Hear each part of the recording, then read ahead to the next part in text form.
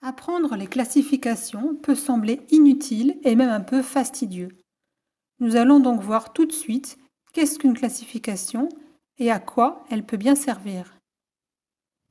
Tout d'abord, il faut savoir qu'il existe non pas une, mais en réalité de nombreuses classifications des roches sédimentaires.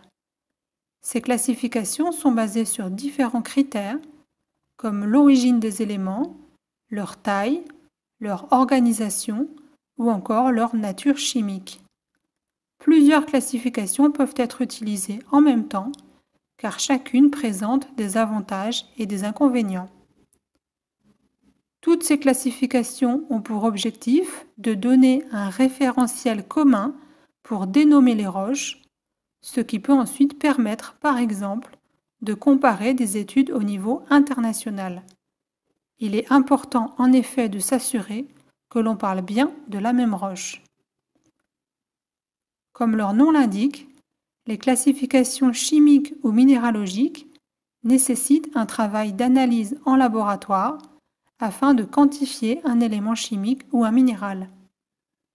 Pour les éléments chimiques, il peut être intéressant, par exemple, de déterminer la proportion de carbonate, d'argile ou de silice.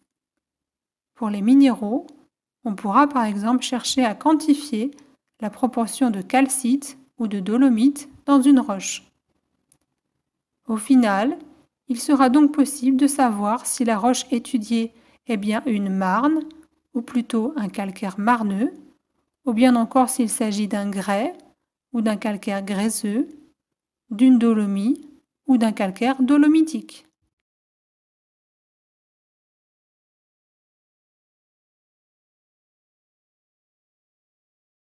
Dans une classification dimensionnelle, on s'intéresse à la taille des éléments qui composent la roche sédimentaire. Ce type de classification est surtout utilisé pour les roches détritiques, qui sont, je le rappelle, les roches sédimentaires les plus abondantes, avec environ 85% du total.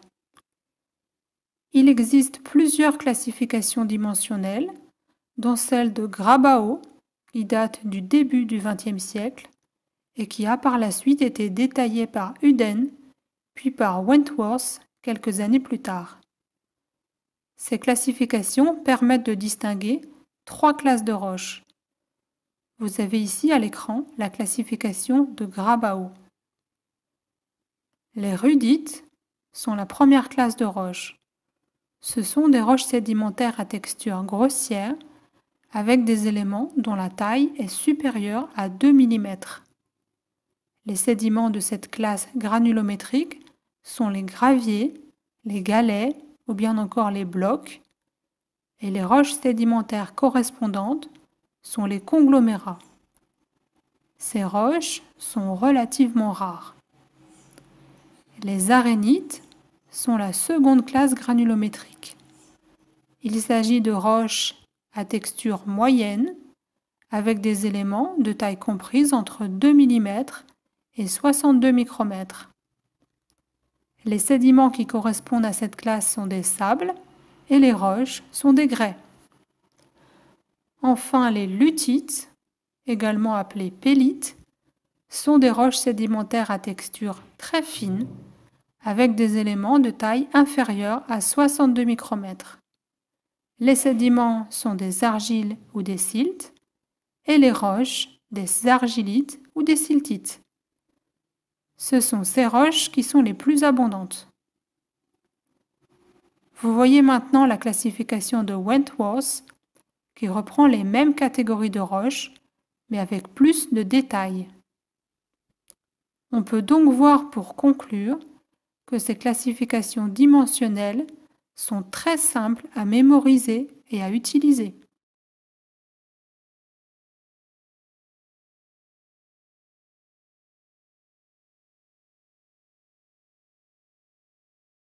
Dans une classification texturale, on va s'intéresser à la texture, c'est-à-dire à, l'organisation des éléments dans la roche.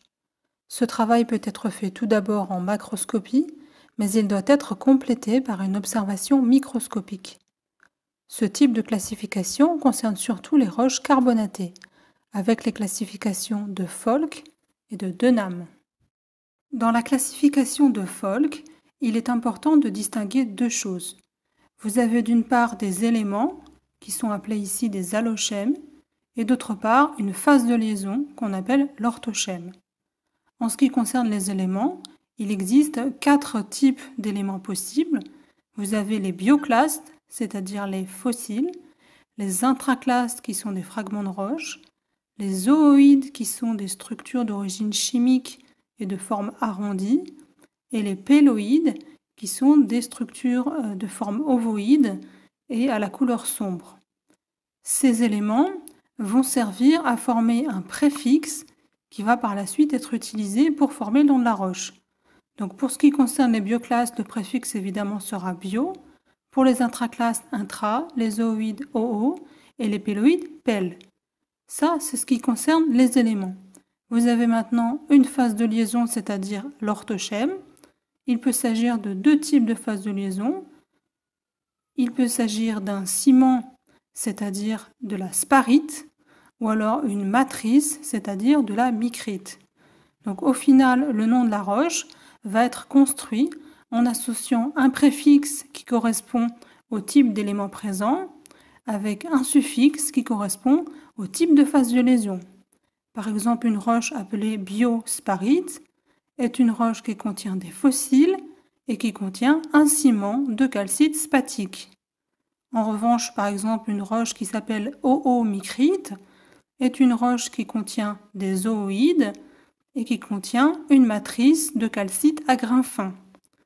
Quand les éléments sont peu abondants, inférieurs à 10%, euh, la roche est une micrite et si possible, on précise le type d'élément dominant. Quand les éléments sont absents ou en tout cas inférieurs à 1%, la roche porte le nom de micrite tout simplement. Dans la classification de Denham, on s'intéresse à la disposition des éléments les uns par rapport aux autres, à leur abondance ainsi qu'au type de phase de liaison, ce qui reflète l'énergie du milieu de dépôt. Les noms donnés aux différents types de roches sont des noms anglais. Vous avez dans cette classification six types de roches. Le mudstone est une roche qui contient de la boue carbonatée et une quantité d'éléments très faible, inférieure à 10%. Le wakestone est une roche qui contient toujours de la boue carbonatée, une quantité d'éléments un peu plus importante, supérieure à 10%. Mais attention, pour ces deux types de roches, les éléments ne sont pas jointifs, c'est-à-dire qu'ils ne se touchent pas. Le packstone est une roche qui contient toujours de carbonatée, mais cette fois-ci avec des grains jointifs, c'est-à-dire qui vont se toucher, qui sont donc abondants. Le grindstone est une roche cette fois-ci qui contient toujours des éléments jointifs, mais elle contient un ciment au lieu de la boue qui était présente dans les roches précédentes. Le barnstone est un calcaire construit, c'est-à-dire dont les composants sont liés au moment du dépôt. Enfin, les calcaires qui sont recristallisés, c'est-à-dire le marbre, font partie de la dernière catégorie.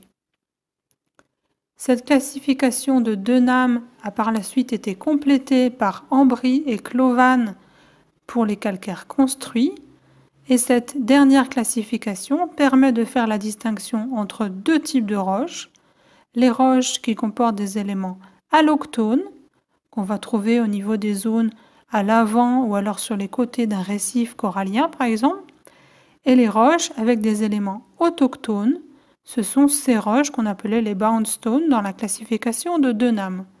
Donc on voit dans cette classification les deux grandes catégories de roches, et puis à l'intérieur vous avez des euh, divisions euh, qui sont faites en fonction euh, notamment de l'aspect des éléments présents ou de leur position au niveau de la roche. Nous allons prendre tout de suite quelques exemples pour illustrer un petit peu les classifications qu'on vient de voir à l'instant. Ce sont des lames minces de différentes roches, ce sont évidemment des carbonates. Ce premier exemple ici vous montre une roche qui ne comporte aucun élément. La phase de liaison est sombre composée de tout petits cristaux. Il s'agit euh, d'une boue carbonatée. Le nom de cette roche dans la classification de Folk sera donc une micrite, c'est-à-dire une roche qui comporte de la boue et aucun élément visible. Dans la classification de Denham, il s'agit d'un mudstone. Ce deuxième exemple ici vous montre toujours une lame qui comporte une boue carbonatée, c'est-à-dire de la micrite. C'est ce fond sombre ici présent qui, se compose de cristaux très petits. La différence avec la lame précédente, c'est qu'ici nous avons des éléments en quantité euh, appréciable. Ces éléments ne sont pas jointifs, c'est-à-dire qu'ils ne se touchent pas. Ce sont des bioclastes, c'est-à-dire des fossiles. Il s'agit ici de petites coquilles. Le nom de la roche dans la classification de Folk, c'est une biomicrite.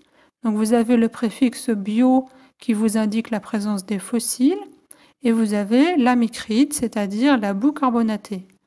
Dans la classification de Denham, il s'agit d'un wake stone, qui est une roche qui comporte de la boue carbonatée et des éléments en quantité supérieure à 10%, mais qui ne sont pas jointifs. Enfin, ce troisième exemple vous montre une roche complètement différente. Les éléments présents sont abondants, ils sont jointifs, ce sont des oolites, on peut appeler aussi ooïdes, c'est-à-dire ces structures de forme arrondie avec un aspect interne qui est concentrique et de taille inférieure à 2 mm. Et cette fois-ci également, nous n'avons pas la phase de liaison sombre comme on voyait précédemment.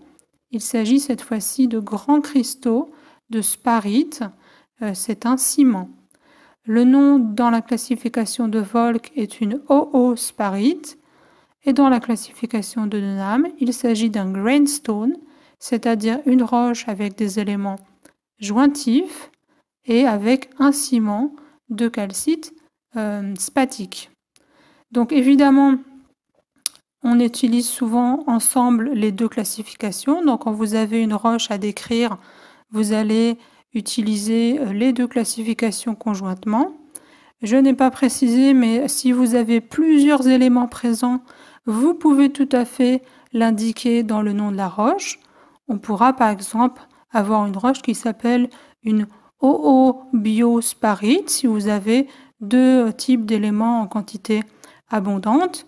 Si vous avez un élément qui est beaucoup plus abondant que l'autre, évidemment, vous allez retenir cet élément-là. Euh, rien ne vous empêche également de préciser euh, le, le, type d'élément de façon détaillée. Si vous avez par exemple reconnu le type de fossile présent, vous pouvez appeler votre roche une biomicrite à euh, foraminifère, par exemple. Hein. Euh, c'est tout à fait euh, intéressant quand vous connaissez une précision plus grande de l'indiquer dans le nom de votre roche. Pour conclure, je dirais que l'apprentissage des classifications est extrêmement important. en effet, dénommer les roches de façon correcte, c'est la seule façon que vous avez de pouvoir comparer vos résultats avec ceux d'autres études, ou bien encore de pouvoir comprendre euh, des euh, ouvrages scientifiques qui traitent du sujet. Je n'ai pas parlé au cours de cette vidéo des classifications génétiques, c'est-à-dire des classifications qui vont s'intéresser à l'origine de la roche, à son milieu de formation. Vous pourrez par exemple trouver des dénominations comme des calcaires lacustres, des calcaires néritiques, ou bien encore des conglomérats de pentes. Mais euh, il faut être extrêmement prudent avec ce genre de classification. En effet, un même faciès peut parfois correspondre à des milieux de formation différents. Par exemple, il va être très très très difficile de faire la différence entre un conglomérat de pente et une thylite, qui est un conglomérat d'origine glaciaire. Donc attention à ce type de classification.